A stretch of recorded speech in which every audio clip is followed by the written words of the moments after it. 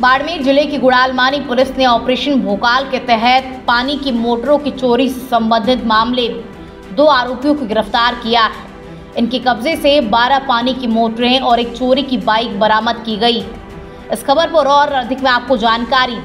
उससे पहले बता दूँ, ऑपरेशन भोकाल एक विशेष पुलिस ऑपरेशन, जिसे नशे के लिए चोरी की घटनाओं और अपराधियों को पकड़ने के लिए चलाया गया। है इस ऑपरेशन के तहत पुलिस ने विशेष ध्यान, नशे के आदि लोग और उनकी आपराधिक गतिविधियों पर केंद्रित किया।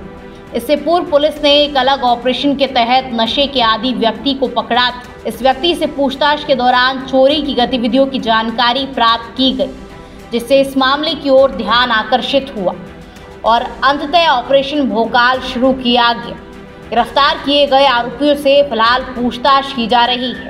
ताकि उनके नेटवर्क, अन्य चोरी की घटनाओं और उनके नशे की आदतों के बारे में अधिक जानकारी प्राप्त की जा सके। इस प्रकार की पुलिस कार्यवाही न केवल चोरों को पकड़ने के लिए महत्वपूर्ण होती है, बल्कि ये नशे के कारण अपराध को नियंत्रित करने में भी सहायक होती है। इस तरह के ऑपरेशन से समाज में सुरक्षा और न्याय सुनिश्चित किया जा सकता है। ऑपरेशन भोपाल के तहत बाड़मेर पुलिस ने की बड़ी कार्यवाही। दर्ज मामले में पाँच मोटर बरामद करने के साथ साथ कुल बारह मोटर भी बरामद हुई। म्याऊ म्याऊ ऑपरेशन चलाकर पकड़े नशेड़ी, फिर चोरी का हुआ खुलासा। एक दर्जन पानी की मोटरें चोरी करना स्वीकार किया गया है। दरअसल बीते दिनों जोधपुर रेंज आईजी ने बाड़मेर पुलिस की क्राइम मीटिंग ली थी।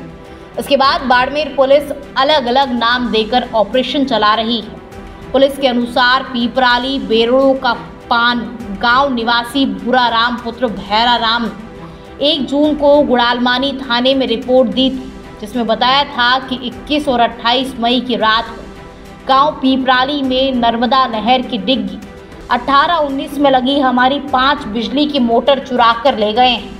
पुलिस ने रिपोर्ट पर मामला दर्ज किया और जाँच पड़ताल को शुरू कर दी। घटना का मौका मुआयना कर चोरों की तलाश शुरू कर दी।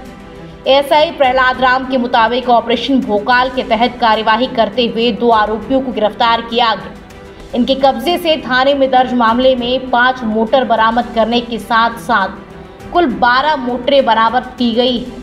आरोपियों से फ़िलहाल पूछताछ की जा रही है। इसमें अन्य वारदात का भी खुलासा होने की उम्मीद है